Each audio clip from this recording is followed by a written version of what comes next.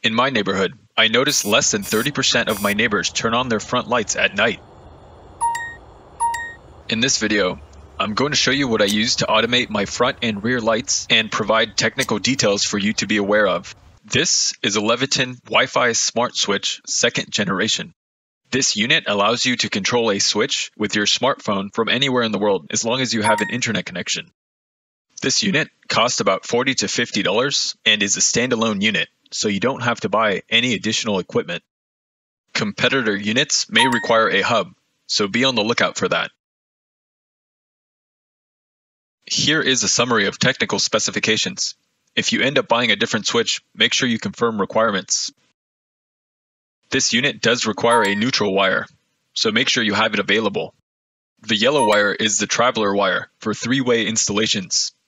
This is where you have more than one switch to control a light fixture. Lastly, make sure you don't exceed the power ratings. I broke down the numbers in terms of power in watts. It also has the capability of controlling ceiling fans. The installation consists of connecting four wires. I have a link in the description for a step-by-step tutorial. When in doubt, please don't hesitate to hire a professional. The Leviton app is very easy to use, and the entire setup and programming is done through this application. Once the switch is configured, I actually use Google Home to control the switch.